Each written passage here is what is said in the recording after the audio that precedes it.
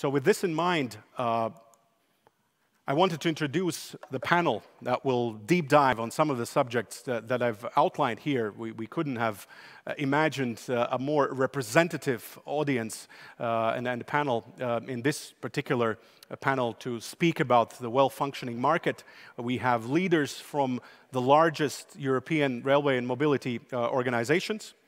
And if I may start to introduce the panelists, and hopefully they are coming up on the stage. Meanwhile, I remind everyone uh, that you can pose your questions uh, on, the, on the Slido platform, but I wanted to introduce the, uh, the first panel to discuss the, uh, the well-functioning market development, uh, and of course, something that focuses both on maximizing traffic and maximizing socioeconomic benefits. So first, we have uh, Bente Yedema joining us from the uh, European Rail Infrastructure Managers. Hi, Bente. Then we have Marina uh, Pop, uh, Popapidou from uh, CER, which is the community of uh, European Railway and Infrastructure Companies. We have Nick Brooks uh, from ALLRAIL, which is the Alliance for Rail New Entrants. we have Conor Feighan, who is the Secretary General of European Rail Freight Association. We have Simon Fletcher, who is the uh, chief of Europe uh, for UIC. Uh, we have Jānis Zvīgulis, uh, who is the head of the transport working group of the Foreign Investors Council here in Latvia, but representing very much the entire Baltic investment community. And handing over, it is my great pleasure to hand over to our moderator for this session, the one and only Catherine Trautmann, who is the European coordinator for the North Sea Baltic TEN-T corridor. Catherine, take us away. Thank you very much, Kaspars. I'm so glad to, to uh, have a discussion with uh, such a competent uh, panel, and uh, I'm sure that uh, uh, your contribution will be of major importance for the understanding of what we must do and can do to obtain all the, the results which was expressed by Kaspars when we speak of what we wait for. When we listen to um, the the seminar, the part of the uh, of the uh, of the day uh, on tenders, we could see that the phases of construction is a very uh, important in economy, local, regional, national, international economy. When you event, you invest somewhere, you you give also a part of attractivity, a part of uh, added value. It is, in fact, in business, in uh, in benefits uh, and in job creation. So it is very important. Uh, the second um, remark I want to express is that Rail Baltica is about linking people and linking businesses. It is a way to reinforce the capacities of different national markets to merge together and to give with this infrastructure uh, new possibilities of um, for econ our economy.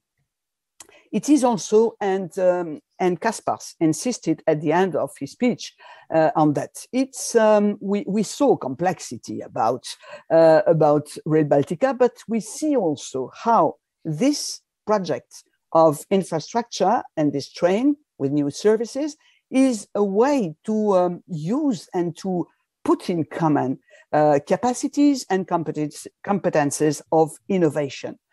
For the Commission, of course, uh, looking for corridors as economical corridors, for me as coordinator, looking on the uh, North Sea Baltic uh, to be an accelerator for climate change, for transition, of course, energy questions, digital aspects are keys for this acceleration. But of course, now we want to listen to you to, to understand how you see and what you, you preconize uh, for the success of this infrastructure from your eyes, from your organization. And of course, at first, I will ask Bente Yedema uh, to, with uh, this um, first question, I would be interested to know what, in your experience, needs to be done to make this railway line a success. What do you see as the most important conditions that needs to be fulfilled? And what is particularly important, especially here uh, in the Baltics, when setting, setting up such a greenfield uh, project? The question will be the same to all the panelists.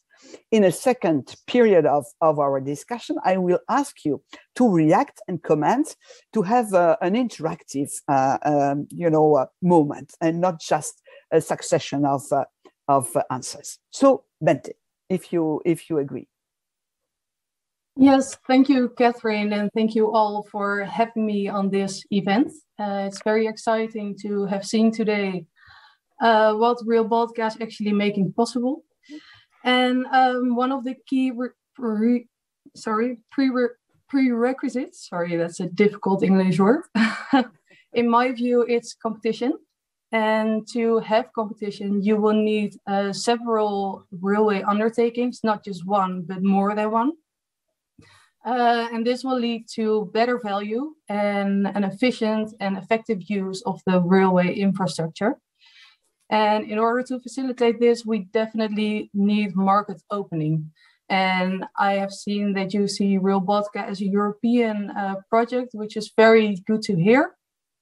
Um, so yeah, the main thing for me is market opening, competition. This is all really very important in this stage and in future stages as well um, it will be a very, very good um, chance and a unique chance for Rail Baltica to really invest in competition and opening up the market. Thank you. Thank you very much, uh, Bente. Um, this is an introduction and an answer also uh, to what uh, Caspar said before. We mm -hmm. are in a, in a new step uh, and uh, we have a sort of a scaling of uh, the uh, open opening of the uh, of the rail market now with the new uh, regulatory framework. So it is also um, taken in mind by several organizations. So I will ask Marina Potapidou, who works a lot with the um, European Rail Agency. what does she think for the uh, for her recommendations for the best success for, for Rail please. Thank you very much, Catherine, and thank you to all uh, to be also uh, today present in this very exciting uh, panel. Uh, of course, I agree to what uh, Bente said. Competition and market opening is a prerequisite, one of the many actually prerequisites um, for for uh, for successful international rail services, including the market opening and open access. So to bring down all the barriers down. But of course, I would like to start with infrastructure uh, digitalized, connected, and resilient infrastructure is, is the key, and we should start always there to uh, continue providing uh, the services. So the completion of the TEN-T core networks uh, and the uh, deployment of uh, infrastructure technical requirements, including the deployment of ERTMS on board and on track, is, is one of the key priorities to us. Uh, that being said, uh, to, to, uh, for the competition, we also need a competition, at least a transparent and fair competition with other transport modes. So the creation of a level playing field for all transport modes uh, for instance, by abolition of VAT on international train tickets in all member states, and equal treatment in energy taxation uh, is is really a must, so we can uh, continue uh, providing su successful and efficient international uh, rail passenger and freight services. Thank you very much uh, for these two aspects. the the playing field, which must be equal and fair for, for all the modes, but also uh, for digitalization. Of course, we see if we want to have uh, this prerequisite uh, as a good uh, uh, context for, for this uh, realization and with a good market, if I can say in an economical point of view, we need the conditions, Marina, you spoke about. So it is, um, it is um, I think, very nice to listen Nick Brooks because uh, you are you represent new entrants. And uh, of course, uh, it is feasible if the market is open. No, what do you think? Yes, that's right. And and Catherine, um, thanks for having me here today. And and I can only uh, agree with the two previous panelists about their their uh, recommendation to have more competition. I mean, certainly with other green field high speed networks in the past, and there haven't been too many, But one that I'd like to highlight is Italy, uh, which was built a couple of almost two decades ago. And soon afterwards, there was competition on the tracks between different high speed operators. Mm. And it's caused that market to double in the last seven years um, before the pandemic. So, surely that can be applied to the Baltic model as well, considering that the major cities along the line, um, such as Vilnius, are easily big enough, we think, to sustain a commercially viable passenger traffic between rail passenger traffic on, along the whole line. Um, I mean, we say the minimum size of a city has to be 100,000, and a lot of the cities higher than that. And uh, so we think that the first uh, default must be to see if um, a, a market can be achieved without any kind of subsidy, to see if a commercially viable market is possible. And only after that has been um, identified through some kind of market analysis, um, if uh, to see if market players can do the job. Only if that fails, then we look at other options such as some form of public service offering. But the default must be a competitive um, system where there's more than one operator because we see that that is what really brings the growth in passenger rail. And in finding the right mechanisms to achieve that kind of market, the right kind of market conditions, that's an important priority. But from all, all that Kaspar said in his speech earlier on, it sounds like this is the ideal kind of fledging innovative economy that the European single market should be trying to achieve. And um, I certainly our, our members look forward to be part to being part of that in the future. Thank you, uh, Nick. Uh, I agree with you. And uh, I think that Rail Baltica can be an experience, a European experience for what we have to do. That's why it is very important that we can also associate organizations, uh, you know, uh, companies, citizens, uh, to, to to uh, merge, uh, to, to, converge, uh, to see and understand and contribute to the project. This is very important. This will be also, for me, as I see it, a sort of um, source of success uh, I had the experience of building, uh, it was not me, but uh, supporting a new uh, high speed uh, line. And of course, the idea was to associate the people, the passengers, and companies at the beginning of the process so that they could understand uh, the added value of this infrastructure. So, this is also very important for uh, the uh, uh, all the um, challenges of the the rail freight, also not only for passengers. So, Conor you you are concerned very much by this freight aspect. So, what do you have to say? Correct. Thanks, Catherine. So, as Casper said earlier, this is fundamentally about linking people and businesses. When it comes to businesses, it's about giving businesses control over the supply chains, who they can choose to work with, and this is achieved through competition. When we look at the rail freight market across Europe, this has been a positive story in rail freight normally. Now competitors account for, on average, 48% of national markets. If we look at the largest rail freight market in Europe, Germany, competitors now account for 57% of that market. The Baltic states, I have to say, continue to be a bit of an outlier. So we need to be seeing how we can use Rail Baltica to that speed start that competition in this region. Just to give an example, in Latvia today, the incumbent operator is 70% of the market, in Estonia, 98%, in Lithuania, 100% of the market. So there's a lot of work to be done in competition in this region. So we need to be seeing how can Rail Baltica be used to increase competition and, like I said, put the businesses at the forefront of supply chains. Thank you uh, for these remarks. They are very wise, and uh, I think that uh, uh we see uh, that there is a special situation and a special context in this country. So we have to move uh, smoothly to to better better competition, better situation.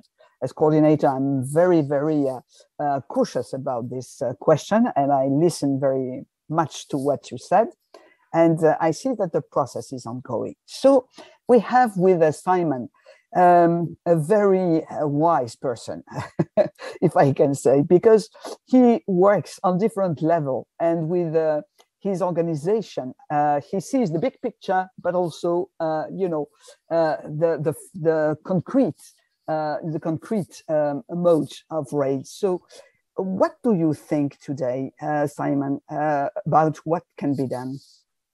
There's nothing like bigging up the bigging up the issue. Thank you very much, Catherine. Um, wise, I don't know. Will you, you, can be the judge of that um, after the event.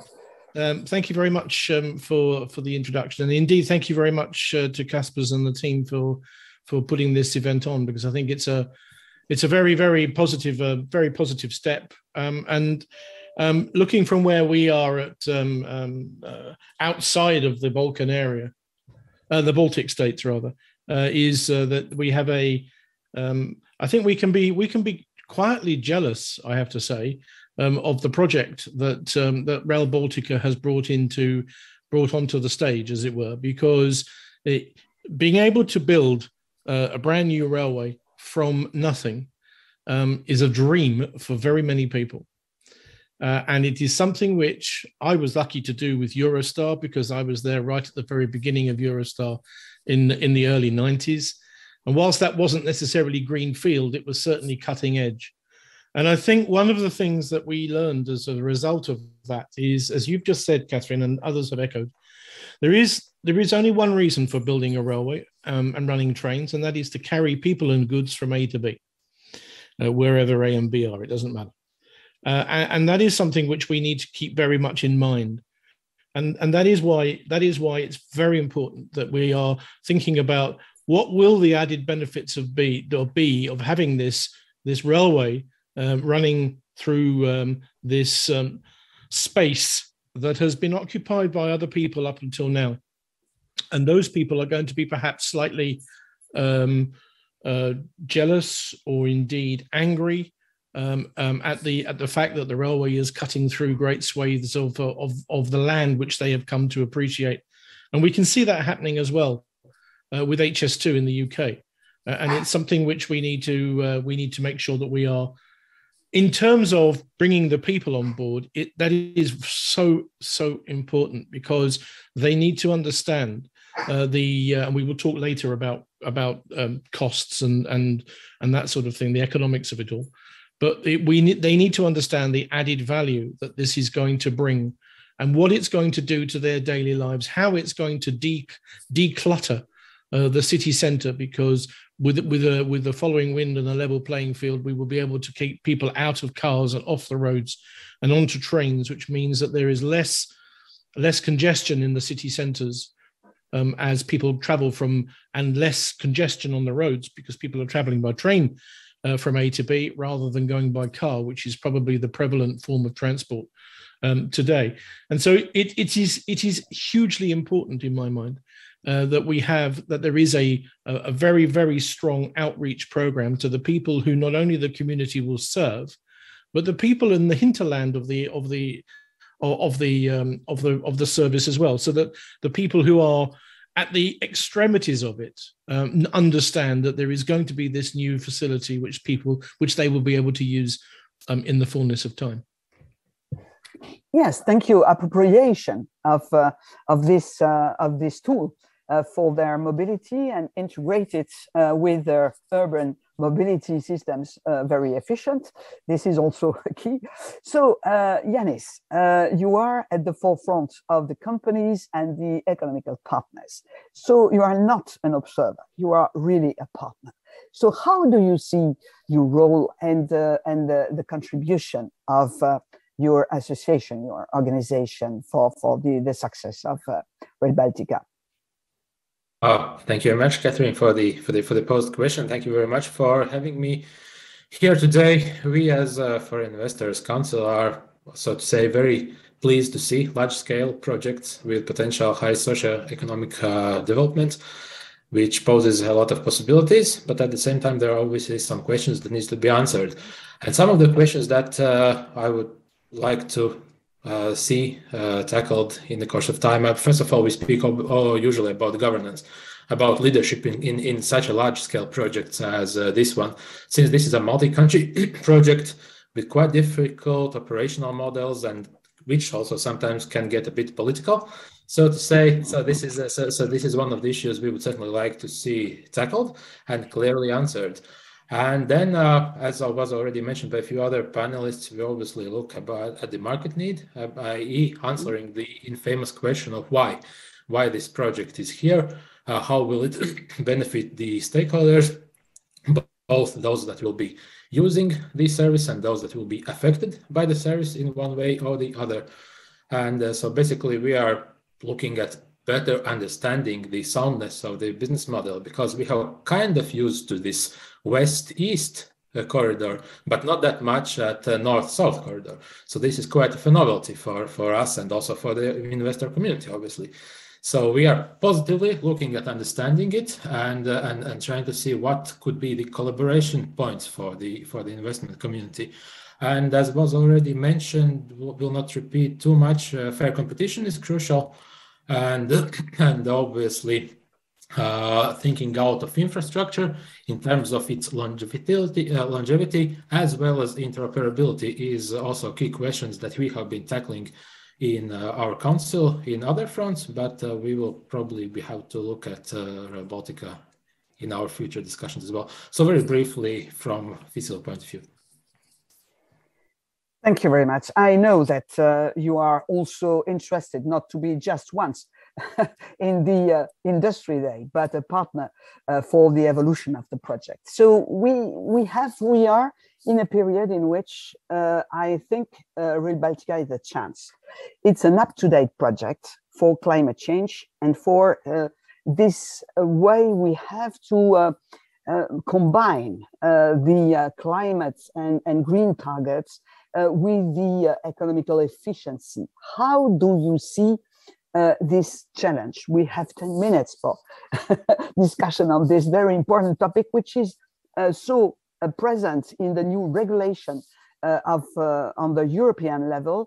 And of course, you spoke about jealousy, looking to Rail Baltica. I must say, as coordinator, that sometimes the money which is given through the CEF um, uh, contribution is looked as a sort of privilege for the, the, the Baltic countries. So I always argue to say that no, uh, we must see also from which point we, we, we uh, uh, conceive this project and to what uh, to what uh, utility for all Europe, for all the network. It's not just for Baltic countries. It's a real added value for everyone. But we are in a specific territory, so that's why uh, this. Um, vision of combining economical targets and uh, climate targets is one of the key um, element of the discussion today. So I come back to you, Bente. What do you think? And perhaps you, you want to react to uh, what uh, other panelists said. Be free. Yes, uh, thank you very much. I uh, completely agree with you that Rail Baltica is a very uh, good opportunity to completely align with Euro European standards. Um, and this is also quite a good investment opportunity um, when we look at the green bonds. Um, we had, on behalf of our members, discussions with the European Investment Bank, and they are really willing to help fund um, green initiatives. So if you make sure that you are completely aligned with green initiatives, it will be uh, easier to access European funding, yeah. which is really good. And to us, the Rail Baltica project is a really, um, really important uh, project as well as the railway um, system in Europe is has to see, be seen as a whole, not just um, different countries. And you will be a very important link between Poland and between Finland. So all in all, it's very, very exciting. Thank you, Bente. And Marina, uh, can you can you come in? Thank you. Thank you, Catherine. Um, so yes, combining the economic and climate targets is quite a challenge. Uh, I'd like to, of course, make the reference to, to the uh, EU's uh, targets on the smart and sustainable mobility strategy, where uh, the commitment of, of um, boosting the modal share to, to doubling the rail freight and tripling the high speed rail traffic by 2030 um, they're quite ambitious. So it is important here to really offer even greater reliability and quality to customers and uh, provide these interoperable and pragmatic solutions if we really want uh, rail to continue being uh, the backbone of a sustainable, a sustainable mobility system. Uh, so this is not an easy task and we're all aware of it. And Rail Baltica has great opportunity to really uh, show and demonstrate that this is quite possible. Of course, this requires investments, uh, robust and targeted investments wherever there is uh, market demand. Uh, but also, as I've mentioned already, this level playing field for sustainable rails. If we want to continue to offer these high quality services to, to uh, move um, the EU citizens and the uh, EU freight companies and shippers to rail. That also requires uh, from the sector uh, the commitment to continue applying digitalization. And here, the digital transformation of railways uh, will certainly contribute to making uh, them more efficient and sustainable. Uh, of course, uh, we need to uh, be aware that other transport modes are becoming increasingly digitalized and, and more and more sustainable. They're looking out for solutions on how to be uh, CO2 uh, emission free. So, so we need to look out and, and really prove and support the Green Deal for railways. Thank you very much, Marina. Uh, this is, of course, uh, uh, a big challenge, as you say, for, for, for Rail Baltica. But okay, you, you could understand that uh, all the team uh, is also ready to, to take the challenge. Uh, Nick, uh, what, uh, how do you react to, to these interventions? Uh, well, I think the most important thing that we are looking for from Rail Baltica, from the infrastructure, I mean, ultimately is an infrastructure manager is is the cost situation. How will it be done? Uh, what will the model be based on all the experiences that we've had from all of the rest of the Europe and all of our knowledge from the passenger rail industry? Um, what will it cost? The neutral, we, obviously, we hope that it will be a neutral infrastructure manager, but will it be direct costs? Will it be marginal costs? How will the cost of using the infrastructure encourage new traffic, encourage new entrants, encourage competition? How will it compare to other modes of transport? I think Marina touched upon the comparison to yeah. road, of course, and most, and, and ultimately, from a passenger rail perspective, the biggest, and I'm, I'm, sure from freight as well, the biggest competitor is the private individual motor car for, for passenger trains, that is. Yeah. So, how do we get, I don't know, the 80% market share from from the car, probably even higher in the Baltic states. How do we move that to passenger rail? So what will the cost model be? And um, but how can the the system finance itself? Of course, um, will there have to be more government subsidy somehow to reduce the track access cost? But I will say one thing: it's not as black and white as some people have implied in the past. If you have um, lower the track access costs, that doesn't necessarily mean that there's less revenue because you can lower track access costs and attract more traffic that way and actually earn more revenue than beforehand. Mm. So higher track access cost doesn't necessarily mean you get the highest amount of revenue. So you've got to th- put that into the equation as well. And um, that, I mean, that will be the, the big question for us. It will succeed if there is a smart and digital and um, a low price track access uh, model for, for the infrastructure manager. Thank you. Thank you for reflections on the cost and the price. So, uh, Conor, uh, what do you want to add to this? Because uh, the cargo aspect is uh, very, very in the heart of the question. I'd like to build on a point Jānis made earlier about this is a region where it's for freight anyway, it's been mostly focused on the west-east axis. We have to respect and understand that the dynamics of the north-south are going to be very different. The competition that's exposed to other modes of transport is much higher. We have road transport. We also have a lot of existing short sea shipping routes. Yeah. So for rail freight to be a success here, we need to be adopting a very different approach to what's been adopted in the east-west axis. It cannot just be a copy and paste. So here we need to be looking quite ambitiously at international timetabling, including with countries such as Poland and Germany to be able to connect the Baltic states with some core industrial hubs in Central, Central Europe. But we also need to be looking at access charges. At the end of the day, it needs to be financially competitive or the shipper is not going to go there.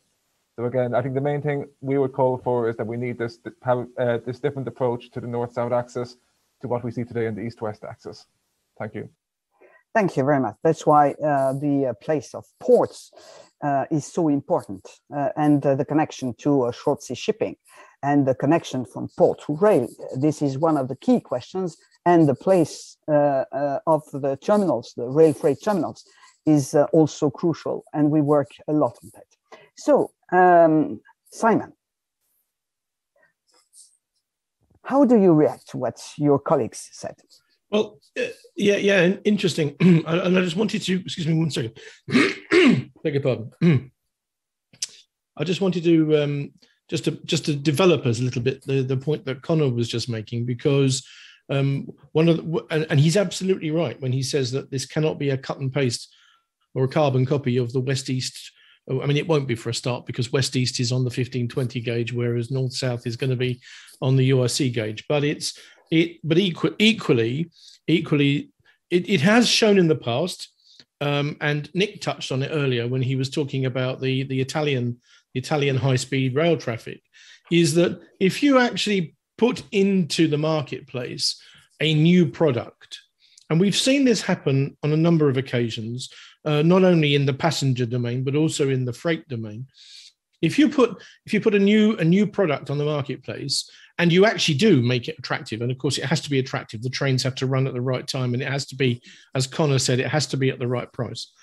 Um, it means that you will attract. I mean, you you will attract new business, business that perhaps you didn't even know was there because maybe today there is a shipper who takes his takes his his load uh, via the short sea route um, from from A to B, whereas tomorrow with the with the railway line they might say, actually, I can do this a lot quicker. It's going to be a lot cleaner because it's electric traction, and it's a lot quicker because it can do it in a day, whereas the boat takes three. For example, I mean, I'm I don't have any worked examples of that, but uh, I think one of the things is is that with the with the with the emergence of the new opportunities, it, it itself grows um, a new type of market.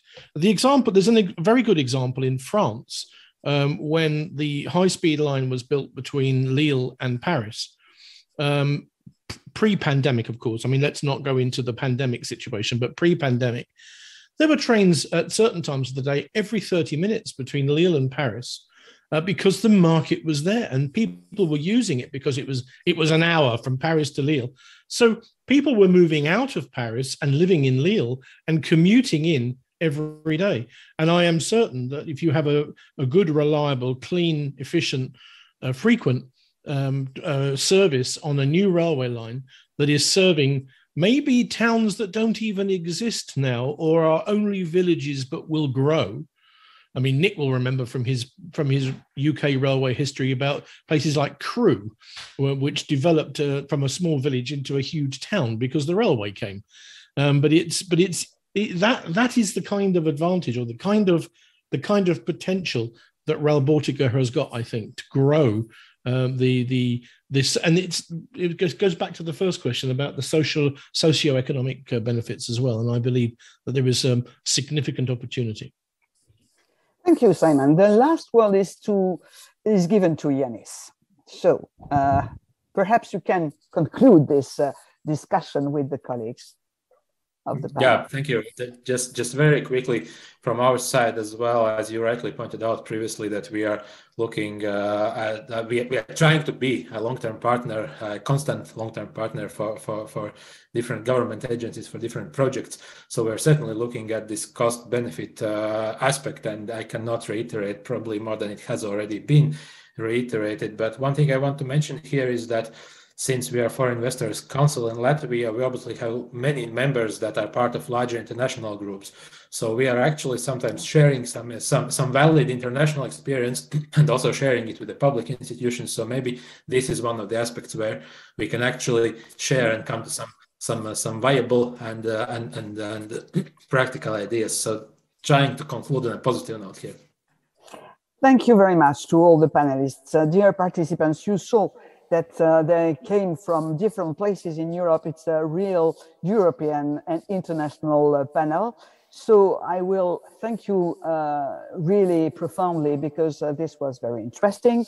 Messages for governments, messages for the Commission, messages, uh, messages for the uh, RB Rail and for the implementing bodies. So Kaspars, I give you the, the, the floor now for the next step of of the day.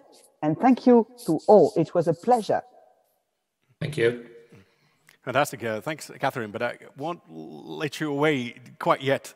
Uh, let, let, us take at least one question. There are quite a few questions on, okay. on Slido. But let's just take one, the most, most popular one that, on, on the top. So, and I, I'm sure that everyone on the panel can, can chip in on this one.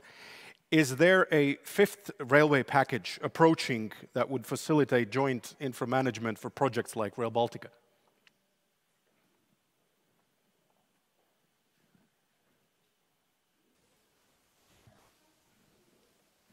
I can say a few words there, I guess. Um, fifth railway package, no.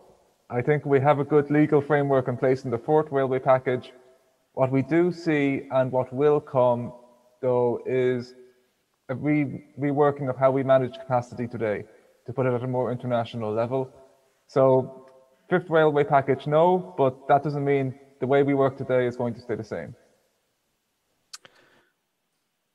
I, I would, can I, can I say something now? I would also generally agree with Conor. Um, the fourth railway package has to be implemented. Um, there's a lot of work to do on that. If it is implemented, then we can go a long way with Rail Baltica. It's not perfect, the fourth railway package. There is more to do, but um, probably not enough to justify a fifth railway package yet. Yes, I, I wanted to ask if it was a recommendation or a nightmare. because you know, posed as a question. We need sometimes yeah. also. so I saw Bente who wanted to say something at the end of uh, the panel. No, Bente, you wanted to add something? Uh, yes, I wanted to draw some attention to the revision of the TEN-T networks, which we are really looking forward to, and it is due on December 14. So indeed, it's not a real whole new railway package, but it may be something to definitely look forward to. And we also have some exciting initiatives such as Eurolink, which, if you become a member as well, um, may really help Rail Baltica as well in giving international rail traffic uh, a worthy place uh, on the railways. Thank you. If I may just also some uh, last words from my side, I agree with everything that the panelists just said, and uh, we do not need a fifth railway package. We have more packages to come on the way uh, for the efficient and mobility package, like uh, Bente just mentioned, including the TEN-T revision, but also uh, some exciting proposals by the end of next year and the year afterwards. And indeed, we do hope to see um, uh, a legal uh, basis on the international timetabling, but not by reopening uh, the single European area directive.